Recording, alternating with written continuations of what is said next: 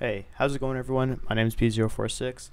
Quickly, I, uh, I, I just made a quick uh, Discord server in case any of you guys want to talk with me or have game ideas or anything. You want just a safe place to chill. Um, I have it in the description under the discussion board on my YouTube channel, and it'll be in the description of this video here. So uh, it's just, I'll pull it up real quick. It's currently only me. I don't have a whole lot going on right now.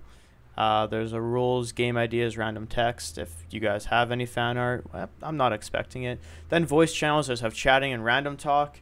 So I will probably be in um, Discord. I, am usually in it a lot, or I'll be with a call on my friends.